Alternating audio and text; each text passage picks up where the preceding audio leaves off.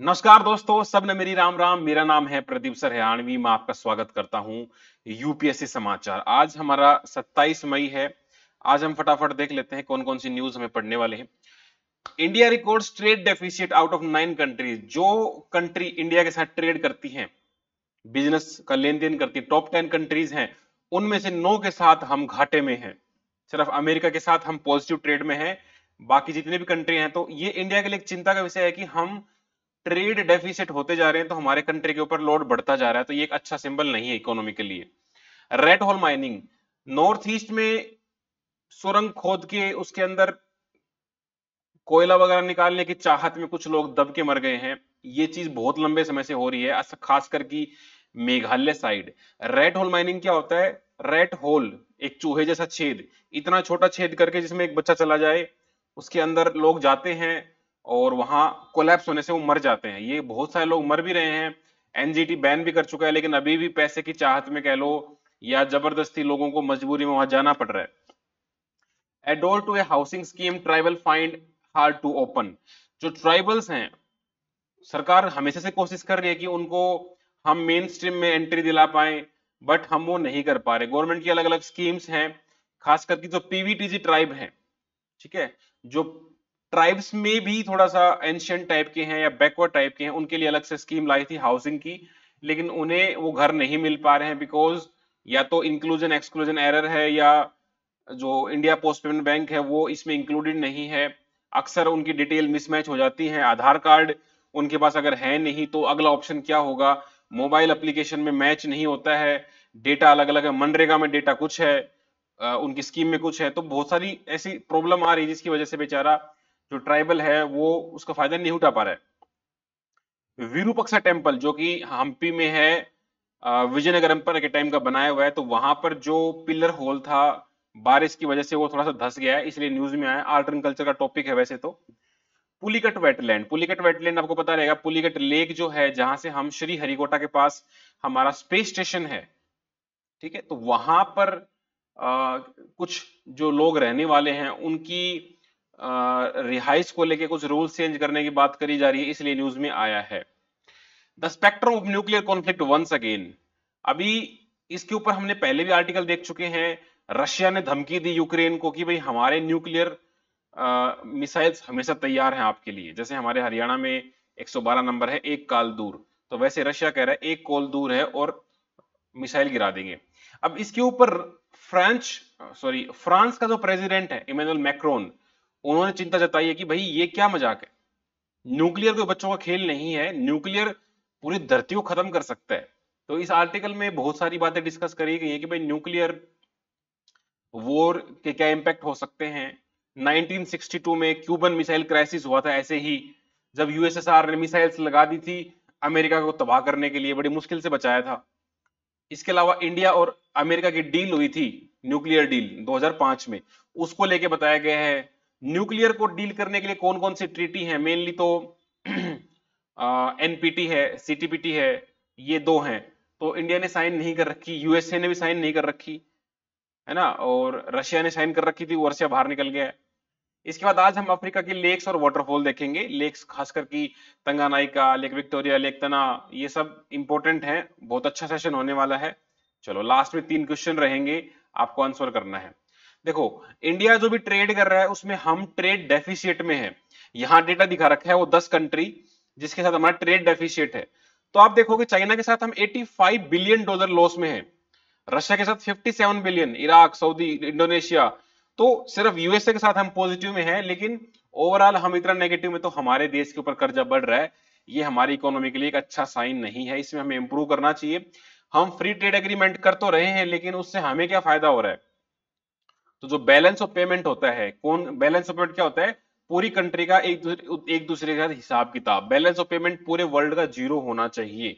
तो हमारे पास जो हम, हमारे ऊपर जो कर्जा बढ़ रहा है, वो दो तरह का हो सकता है। एक होता है करंट अकाउंट एक होता है कैपिटल अकाउंट करंट अकाउंट में वो होता है जो हमने ले लिया और यूज़ कर लिया, वो खत्म हो गया। कैपिटल अकाउंट वो होता है जो हमने ले लिया और जिससे हमने कुछ एसेट क्रिएट कर लिया। तो अगर हमारा करंट अकाउंट डेफिशिएट है तो ठीक है। सॉरी ठीक नहीं है। अगर हमारा कैपिटल अकाउंट डेफिशिएट में है तो तो ठीक है बट करंट अकाउंट में ठीक नहीं है। अगर मान लो मैं आपको हज़ार रुपए देता हूँ और आपने हज़ार रुपए से कोल्ड ड्रिंक पी ली ठीक है? दूसरे कंडीशन में मैंने आपको हज़ार रुपए दी हज़ार रुपए से आपने ये समझो आप आपने वो मशीन लिया है जिसके ऊपर वे, वेट तोलते हैं। तो इस दूसरे केस में क्या होगा वो आपका एसेट बन गया। कल को आप उसे बस स्टैंड के पास रख के पाँच रुपए दस रुपए में आप वज़न तोल सकते हो। तो एक चांस चांस है कि हम उससे, उस मशीन से पैसे रिकवर कर ले। बट आपने खा के उसको कंज्यूम कर लिया, खत्म हो गया तो मतलब वो हज़ार रुपए वापस नहीं आने वाले। तो करंट अकाउंट डेफिशिएट जो है, वो खतरा है। बैलेंस पेमेंट क्या होता है? A systematic record of all the economic transaction between the resident of one country with the resident of other country ये ध्यान रखना सिटीजन नहीं रेजिडेंट है। इंडिया ने balance of payment crisis face किया था 1990 के आसपास, जब हमारे पास डॉलर खत्म हो गए थे। तब हमारे ऊपर एलपीजी रिफॉर्म्स आए थे आईएमएफ ने हमको लोन दिया था। हमने पहले पढ़ा था आईएमएफ इंटरनेशनल मॉनेटरी फंड जिसका मेन काम क्या है? बैलेंस ऑफ़ पेमेंट क्राइसिस को रोकना। ठीक है, अभी रिसेंट में श्रीलंका फेस कर रहा था। तो ये कंसेप्ट आपको पता रहना चाहिए करंट अकाउंट कैपिटल अकाउंट ये इकोनॉमी में आएँगे। करंट अकाउंट में goods balance services united transfer आते हैं। इधर loan long term capital short term capital वगैरह आती है। एफडीआई आती है फॉरेन पोर्टफोलियो इन्वेस्टर आते हैं गवर्नमेंट इन्वेस्टमेंट आती है। ये सब आपको पता रहना चाहिए, ठीक है? अभी इसको टेंशन नहीं लेना है, ये इकोनॉमी में आता है। बाकी मैंने आपको मेन पॉइंट आपको बता दिए अगला हमारा है रेट होल माइनिंग देखो रेट होल माइनिंग क्या होता है? प्रीमिटिव मतलब पुराने पुराने टाइम का है, बहुत हजारडियस है। छोटी छोटी टनल खोदते हैं कोल एक्सट्रैक्ट करने के लिए। उसमें अक्सर क्या कहते हैं, बच्चों को भेजते हैं। एक दस से बारह साल का बच्चा, वो उसमें घुस के अंदर जाके लेके आ सकता है कोयला। लेकिन कई बार क्या होता है, वो टनल गिर जाती है, वो दब जाते हैं। बड़े बड़े मजदूर भी दब जाते हैं इसमें। इसमें साइड कटिंग बॉक्स कटिंग इस तरह की टेक्निक है। तो ये खास करके मेघालय में प्रिविलेंट है। और वहाँ पर मेघालय के अंदर रिस्क क्या है? माइन कोलैप्स होती है फ्लडिंग आती है सीवियर एनवायरमेंटल इंपैक्ट अंदर कोई गैस आ गई मिथेन वगैरह। तो एनजीटी से बैन लगा चुका है। एनजीटी क्या हमने देख चुके हैं? नेशनल ग्रीन ट्रिब्यूनल ये 2014 में बैन लगा चुका है बट फिर भी अभी भी इलीगल माइनिंग हो रही है। खास करके आप देखोगे 2018 में बहुत सारे लोग मारे गए सत्रह माइनस मारे गए थे। लेकिन फिर भी इनको अकल नहीं आ रही है। जो इलीगल है, वो पैसे के लोभ में वो किए जा रहे किए जा रहे चलो, ये अच्छा स्कीम है पीएम जनमन। जनमन का मतलब क्या है? प्रधानमंत्री आदिवासी न्याय महाअभियान। तो इसमें क्या है कि हम जो ट्राइबल्स हैं, उनको घर देना चाहते हैं। जैसे पीएम आवास योजना होती है। तो उसमें हमको दिक्कत आ रही है। हम पर्टिकुलरली किसको टारगेट कर रहे हैं? पीवीटीजी को। पर्टिकुलरली वनरेबल ट्राइबल ये ट्राइबल से भी ज़्यादा वनरेबल है। ऐसे टोटल इंडिया में 75 आइडेंटिफाइड हैं। पेपर में पूछा जा चुका था यूपीएससी ने 75 की जगह कुछ 95 करके दिया था। तो इनके लिए हमारे पास दो स्कीम है। एक तो आया था प्रधानमंत्री पीवीटीजी डेवलपमेंट मिशन 2023-24 और एक ये आई है आ, इसी इनिशिएटिव के तहत मतलब इनका डेवलपमेंट करना है आदिवासी न्याय महाअभियान। इसमें आप क्या करोगे? सेफ़ हाउसिंग ड्रिंकिंग वाटर ये सब देने की कोशिश करोगे। लेकिन दिक्कत क्या आ रही है? दिक्कत ये है कि इनके पास आधार कार्ड वगैरह में नाम मिसमैच हो रहा है या जो सरपंच वगैरह है गाँव का वो नॉन पीवीटी से बिलोंग करता है तो वो इनको पैसा माँगता है या या इनको डिस्क्रिमिनेट करता है तो ये हो नहीं पा रहा है। ठीक है, इसको डिटेल में देखते हैं। टोटल हमारे पास 75 पीवीटीजीज हैं, करीबन 15 लाख के आसपास घर हैं। ये ये अलग अलग जगह फैले हुए रिमोट एरिया में है और ये पुरानी एक तरह के एग्रीकल्चर करते हैं। देखो, इनका नाम पता लग रहा है पर्टिकुलरली वनरेबल ये ऐसे लोग नहीं है जो आम लोग हमारे जैसे हैं। ये या तो इनकी पॉपुलेशन घट रही है, या ये बहुत प्रिमेटिव टाइप की एग्रीकल्चर करते हैं। कुछ कंडीशन है। ठीक है? तो इनको हम चाहते हैं हेल्थ एजुकेशन वगैरह मिले। एग्ज़ाम परस्पेक्टिव आपको पता रखना 75 स्टेट ट्राइबल कम्युनिटीज 18 स्टेट में फैली हुई हैं। 24 करोड़ का हमने इनको बजट दिया है अलग से। उड़ीसा के अंदर सबसे ज़्यादा पीवीटीजी है, कुछ 16 के आसपास है, हम पहले भी देख चुके हैं। तो इनके लिए एक, ये हाउसिंग स्कीम है पीएम जनमन। तो इसमें दो लाख उनतालीस हज़ार रुपए इनको देंगे ताकि घर वगैरह बना पाए। ठीक है डेटा वगैरह कलेक्ट किया जा चुके हैं डायरेक्ट बेनिफिट ट्रांसफ़र होगा। लेकिन इनके लिए एक अलग से ऐप भी बनाई आवास प्लस उस आवास प्लस पे जाके आप, आपको रजिस्टर करना पड़ेगा अपना आधार कार्ड डालना पड़ेगा। लेकिन दिक्कत क्या आ रही है कि वो ऐप रिमोट एरिया में चलती नहीं है वहाँ पर नेटवर्क है नहीं। या जो गाँव के लोग हैं उनको पता ही नहीं है। दूसरे उनके नाम पे किसी और ने घर ले लिया है। बेचारे वो गरीब उनको पता ही नहीं है। है ना? हम तो पढ़े लिखे हमको ही पागल बना देते ये तो बेचारे गरीब हैं। ट्राइबल लोग, इनको क्या पता है, ऐप पे क्या ओटीपी कोई और ही उनके पैसे ले जा रहा है, डायरेक्ट डीबीटी में आ रहे हैं, किसी और के अकाउंट में मिली जुली सरकार करके। तो geographical location household profile bank account ये सब मांगते हैं। हम उनके पास बैंक अकाउंट है नहीं, है ना? हर जगह बैंक की रिच है नहीं। इंडियन पोस्ट पेमेंट बैंक जो कि पोस्ट ऑफ़िस के थ्रू खोला है तो पोस्ट ऑफ़िस भारत में हर जगह खुले हुए हैं। लेकिन वो वो इसमें इंक्लूजन है ही नहीं उस चीज़ का। एक मेजर ड्रॉबैक है। जोग्राफिकल लोकेशन है वो पर्टिकुलर लोकेशन वहीं से उठाता है लेटीट्यूड लॉन्गिट्यूड तो वो वहाँ पर ऐप वगैरह काम नहीं करती। अब इसमें जॉब कार्ड मैंडेटरी है मनरेगा का। मनरेगा में उसका नाम इनकरेक्ट है, वो आधार कार्ड से मैच नहीं होता है तो अब क्या करें, उसके आगे ऑप्शन ही नहीं है उठा ही नहीं रहे फर्दर क्या कॉम्प्लिकेट होगा, कुछ है ही नहीं। ठीक है प्री पॉपुलेटेड साइट्स है तो आप दिखाते हो कि मनरेगा सिस्टम में 22 विलेज दिखा रहा है, आंध्र प्रदेश में पंचायत इकतीस दिखा रहा है तो मिसमैच हो रहा है तो बाकी जो है वो कहाँ जाएँगे? ठीक है तो इसमें आधार कार्ड ज़रूरी है। अब वो आधार कार्ड आगे क्या होगा, वो है ही नहीं। जो नॉन पीवीडी सरपंच है, वो डिस्क्रिमिनेट कर रहे हैं। जियो टैगिंग फीचर है, वो हो नहीं पा रहा है बिकॉज़ वहाँ जाके तो अननेसेसरी ये समझो कि ये दिक्कत हो रखी है। किसी का नाम अंदर है, किसी का बाहर है, बहुत सारी कॉम्प्लिकेशन है तो ये पूरी स्कीम है। अब मैं आपको, मैं हर बार बोलता हूँ, किसी भी चीज़ की प्रॉब्लम आप समझते हो, उसका सोल्यूशन आपके पास होना चाहिए। सोल्यूशन क्या करो? आप वैसे सोच के देखो कि भाई इस प्रोसेस को स्मूथ किया जाए स्ट्रीमलाइन किया जाए, आधार के के साथ ये जो मनरेगा वगैरह इसको डेटा को मिसमैच हो रखा है, इसको करेक्ट किया जाए। इनके लिए आउटरीच करने के लिए स्पेशल बंदे भेजे जाए जो इनको हेल्प करें, जो इंक्लूजन एक्सक्लूजन एरर है, उसको ठीक किया जाए। देखो रजिस्ट्रेशन प्रोसेस को स्ट्रीमलाइन करो प्लस मोबाइल ऐप को अपडेट कर दो ताकि यूज़र फ्रेंडली रहे। जो इंडिया पोस्ट पेमेंट बैंक है, जो कि पोस्ट ऑफ़िस के थ्रू चलता है, इसको इंक्लूड करो। जो डिटेल है जॉब का डिलीट हो गए हैं, उनको दोबारा से रिस्टेट करो। और अपॉर्चुनिटी दो इनको भी, इनका भी डेवलपमेंट हो पाए। बेचारे बहुत लंबे समय से परेशान है। अगली न्यूज़ है हमारी विरूपक्षा टेंपल ये हमारा विरूपक्षा टेंपल है, हम्पी में फ़ेमस तो जो ये पेविलियन होता है इधर, मंदिर में जाने के लिए, उसके जो पिलर वगैरह हैं, वो थोड़े से ढह गए हैं बिकॉज़ ऑफ़ हैवी रेनफॉल ये यूनेस्को वर्ल्ड हेरिटेज साइट में आता है सेवन सेंचुरी में बनाया था और चालुक्य के टाइम चला आ रहा है। यहाँ पर जो मेन रूलर था, कृष्णदेव राय था तो ये जो टेंपल है it is dedicated to Virupaksha. या पंपापथी देवी, या इसको बोलते हैं पंपा देवी, इनकी लोकल डेटी है। तो इसको यूनेस्को वर्ल्ड हेरिटेज साइट में 1986 में इंक्लूड किया था। द्राविडियन आर्किटेक्चर में बना हुआ है। दो तरह के मेनली तीन तरह के स्ट्रक्चर हैं द्राविडियन, नगरा एंड विसारा। तो ये आर्ट एंड कल्चर में पढ़ेंगे। साउथ इंडिया की जो शैली है टेक्निक है, जो टेम्पल्स को बनाने की, उसको हम बोलते हैं द्राविडियन आर्किटेक्चर गोपुरम्स, मंडपम्स, ये सारे ये टर्म्स हैं आर्ट एंड कल्चर के हैं। आराम से आप आर्ट एंड कल्चर में समझना यहाँ कंफ्यूज हो जाओगे।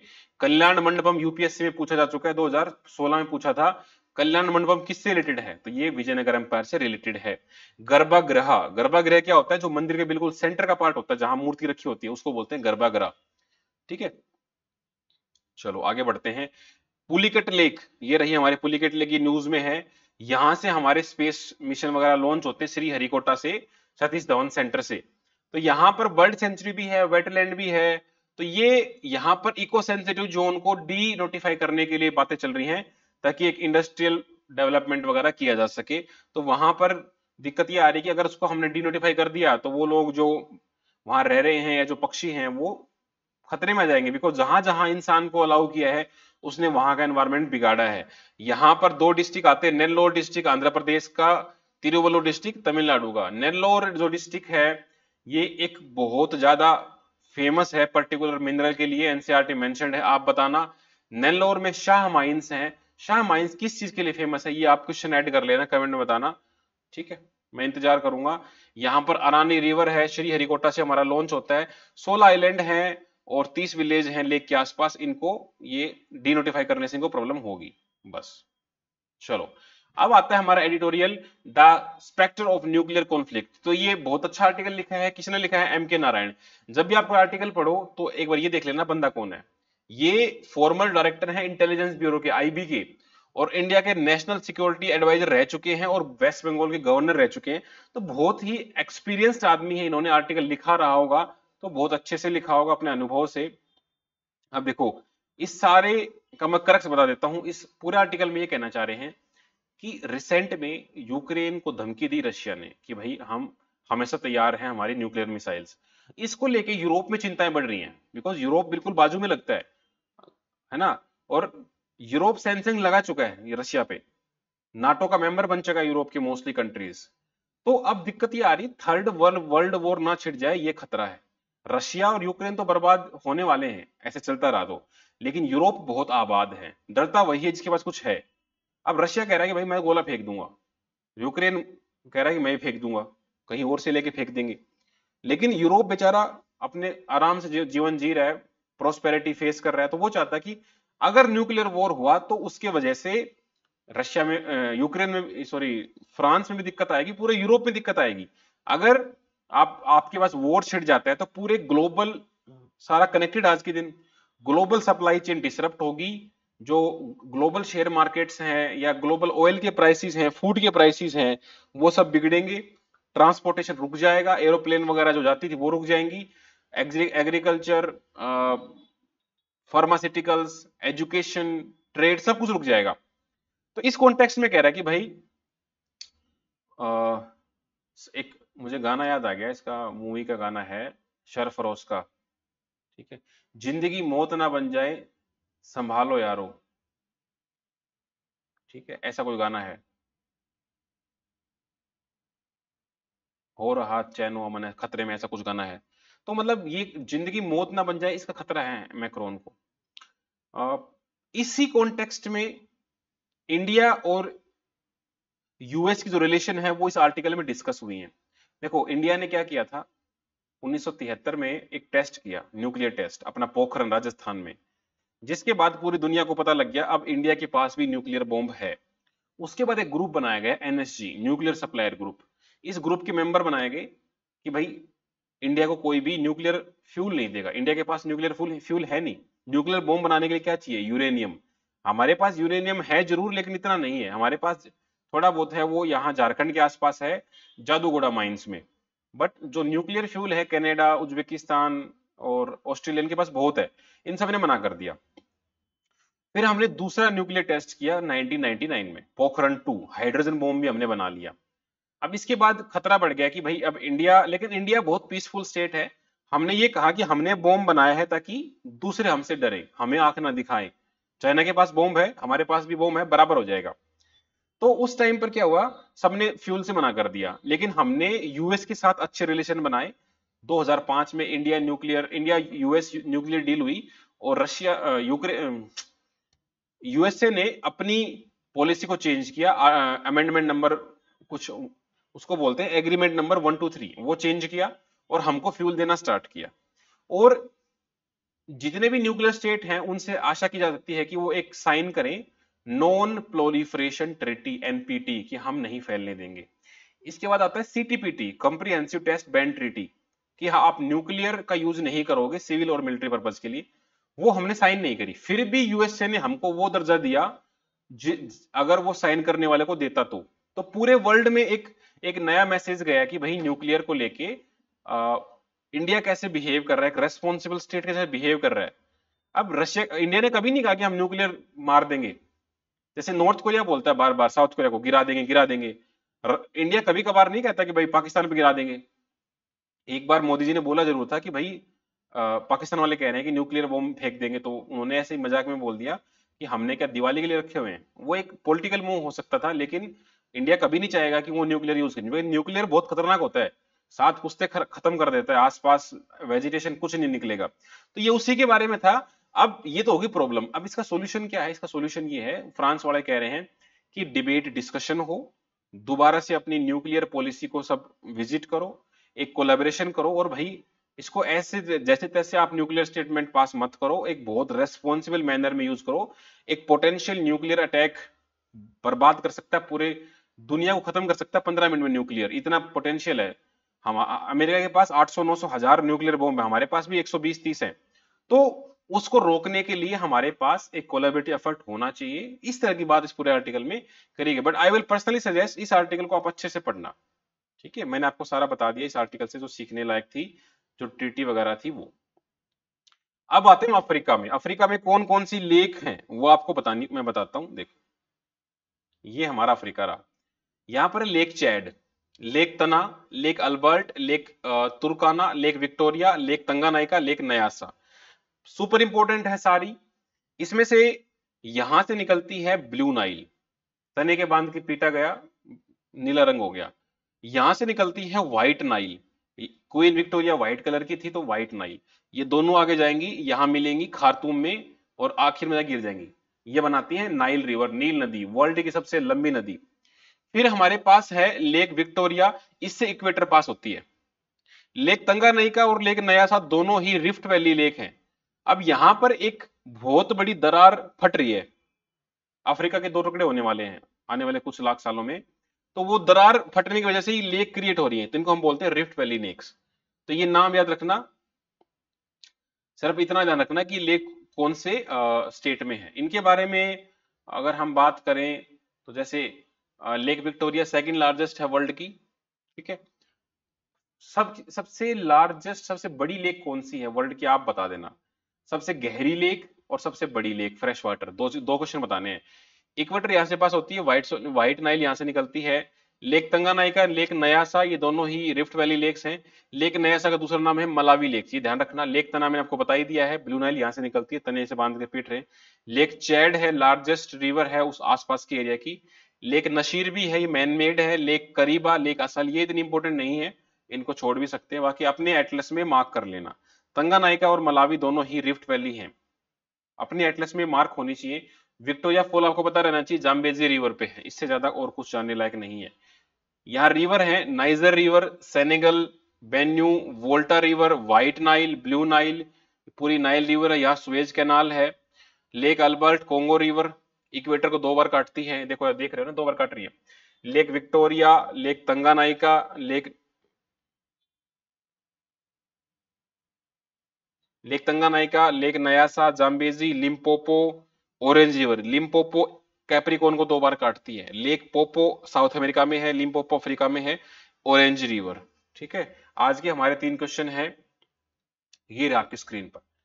In arrange the following lakes from the north to south मैंने आपको चार लेक्स के नाम दिए हैं, आपको अरेंज करना है, सबसे नॉर्थ फिर उसके बाद, फिर उसके बाद, फिर साउथ ठीक है? Which country has signed and ratified city CTBT comprehensive test ban treaty किस किस कंट्री ने ये ट्रीटी साइन कर रखी है? इंडिया यूएसए रशिया ऑप्शन में है ओनली इंडिया ओनली यूएसए या सबने कर रखा है या फिर किसी ने नहीं कर रखा? How many PVTG are recognise in India कितने पीवीटीजी को इंडिया में रिकॉग्नाइज कर रखा है? वो आप बता सकते हो 65, 75, 85, 95 चार ऑप्शन दे देता हूँ। ये सारे ही क्वेश्चन पीवाईक्यू के हैं। इस तरह क्वेश्चन आते भी हैं यूपीएससी में। आई होप आप सबके आंसर करना इसको हैबिट बना लेना। जिसने भी ये वीडियो देखी है कमेंट करना। कमेंट करी हुई चीज़ याद रहती है उम्र भर तक। ये बात नोट कर लेना। Thank you